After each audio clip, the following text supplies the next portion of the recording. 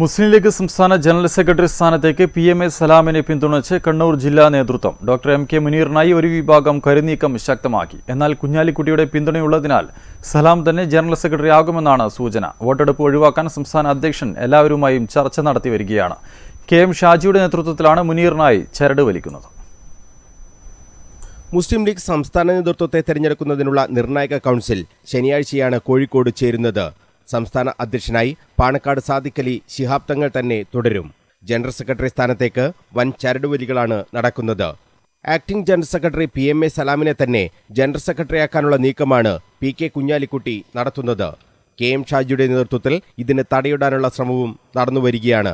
Doctor M K മുനീറിനെ general സെക്രട്ടറിയാക്കണമെന്നാണ് കുഞ്ഞാലിക്കുട്ടി വിരുദ്ധപക്ഷത്തിന്റെ നിലപാട്.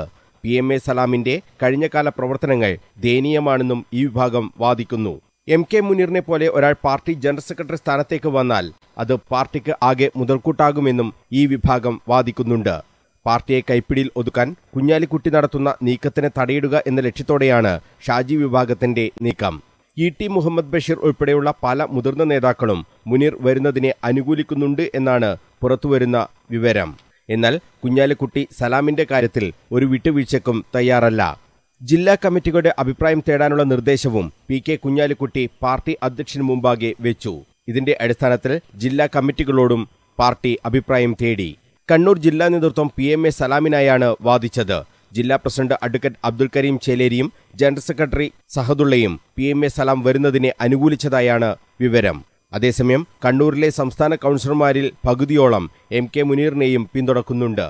ജനറൽ സെക്രട്ടറി സ്ഥാനത്തേക്ക് വോട്ടെടുപ്പ് നടക്കട്ടെ എന്നാണ് ഷാജി വിഭാഗത്തിന്റെ നിലപാട്. എന്നാൽ വോട്ടെടുപ്പിലേക്ക് പോകരുതെന്നാണ് പാണക്കാട് സാദിഖലി ശിഹാബ് തങ്ങൾ നിലപാടെടുത്തിട്ടുള്ളത് ഇതും പി എം എ സലാമിന് അനുകൂലമാകാനാണ് സാധ്യത. മനോജ് മയ്യിൽ കണ്ണൂർ വിഷൻ.